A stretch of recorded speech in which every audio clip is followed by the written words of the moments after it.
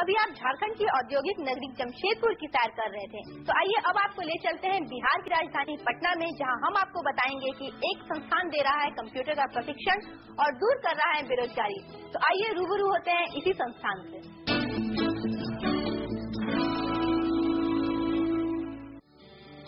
आज के दौर में कंप्यूटर वह जादुई यंत्र बन गया है, जिसके बिना कोई काम संभव ही नहीं दिखता। यही कारण है कि आज सभी जगह कंप्यूटर की धूम है। कंप्यूटर सिखाने के लिए रोज नए नए संस्थान खुल रहे हैं, जहाँ छात्र छात्राओं को कंप्यूटर का ज्ञान दिया जाता है। कई ऐसे कोर्स कराए जाते हैं, जिससे न सिर्फ़ कंप्यूटर की जानकारी होती है, बल्कि वह नौकरी दिलाने में भी महत्वपूर्ण भूमिका निभाती है। ऐसा ही एक संस्थान है विश्व कंप्यूटर साक्षरता मिशन। विश्व कंप्यूटर साक्षरता मिशन एक प्रोग्राम है जो Sanjeev technological system private limited द्वारा संचालित है।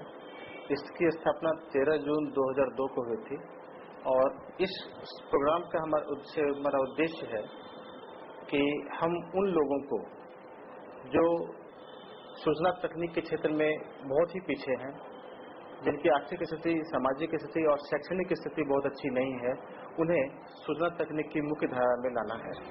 विश्व कंप्यूटर साक्षरता मिशन में नामांकन लेने वाले छात्रों के लिए बहुत कुछ है जिसके बल पर वह कंप्यूटर के क्षेत्र में अपना करियर संवार सकते हैं।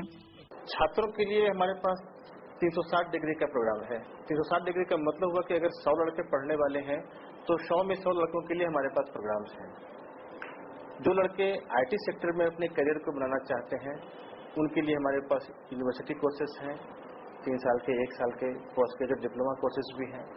जो लड़के नन नन आई सेक्टर में जाना चाहते हैं, उनके लिए भी हमारे पास तमाम कोर्सेज हैं। जो लड़के अकाउंटिंग में चाहते हैं मल्टीमीडिया में हार्डवेयर नेटवर्किंग में या किसी भी क्षेत्र में कंप्यूटर से संबंधित किसी भी क्षेत्र में जाना चाहते हैं मेडिकल में इंजीनियरिंग में पैरा मेडिकल में, उन सब के लिए हमारे पास पैकेजेज हैं। हमारे पास तकरीबन पचहत्तर कोर्सेज हैं, जो नन आईटी सेक्टर्स के स्टूडेंट्स अडॉप्ट कर सकते हैं। यह संस्थान न सिर्फ़ भारत में, बल्कि विश्व स्तर पर कार्य कर रहा है। जिसका नतीजा है कि आज इसके पास छात्रों की कमी नहीं है।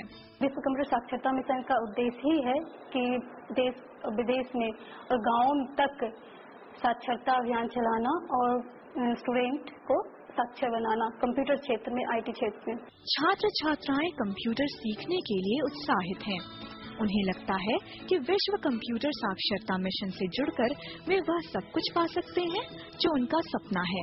यहाँ की जो फैसिलिटीज़ और यहाँ पढ़ाई है तो मैंने सुना है यहाँ बहुत अच्छी है। इसीलिए यहाँ मैंने टेंथ अपना टेंथ की पढ़ाई खत्म करने के बाद मैंने यहाँ पे ज्वाइन किया डीसीए कोर्स के लिए। जो भी तकलीफें होती है कुछ भी अगर परेशानी हुई पढ़ाई के दौरान या फिर लैब में तो they'll help uh, very properly in a very proper way.